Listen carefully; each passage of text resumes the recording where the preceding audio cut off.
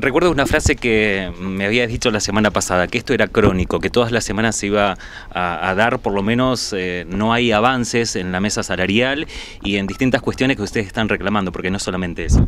Bueno, sí, primero este, saludar a la comunidad y decir, eh, contarles que estamos en esta situación porque el gobierno provincial eh, sigue sin darnos una respuesta, ¿sí? que esta situación no es buscada por nosotros.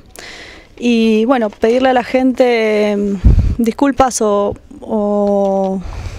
no somos expertos en, comunicación y lo que tratamos de hacer es comunicar a la gente de la forma que podemos y sabemos eh, en la medida que nos, que nos encontramos haciendo, pero esto tiene que ver con la respuesta que no da el gobierno realmente. Ustedes no solamente están pidiendo la apertura de la mesa salarial, sino también hay otras cuestiones para el funcionamiento del hospital.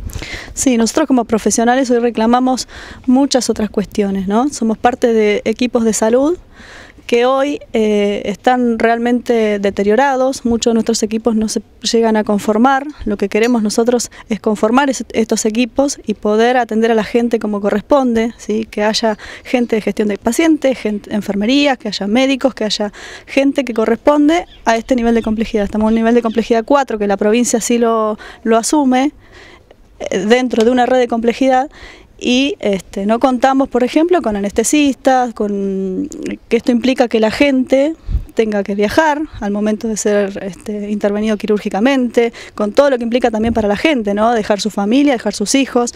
Eh, este reclamo es mucho más profundo que lo salarial. lo salarial está dentro de nuestras condiciones económicas, eh, nuestras condiciones laborales, perdón, y me parece que también tiene que ver cómo se plantea este, desde el gobierno la política que quiere como política de salud. Digamos, si vos no invertís dentro del mismo sistema, tanto en medicación como en recursos físicos, como en recurso humano, como en medios de transporte, me parece que estamos pensando en un sistema ideal, pero no invertimos en este sistema, me parece que no, no concuerda. Nuestro, eh, nuestro reclamo tiene que ver con querer este, reflotar un sistema que, vemos que es factible en esta provincia, donde tenemos ingresos que podrían sostener este sistema.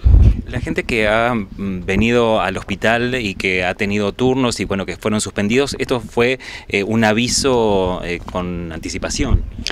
Sí, nosotros este, tratamos de, avisar con anticipación a la gente, vamos este, coordinando con la misma gente que vemos en los consultorios, en los centros de salud, avisando y tratando de distribuir a estas personas en los días que no tenemos este, paro. Em, la anticipación la hacemos a través de los medios, ¿sí? a través de los centros de salud con este, cartelería. Así que bueno, tratamos de, molestar lo menos posible a las personas, pero también tratamos de comunicar a la gente que esto es un problema eh, que excede lo salarial. Es un problema que nos afecta a todos como comunidad, que les afecta a las personas que, requieren este servicio de salud. ¿sí?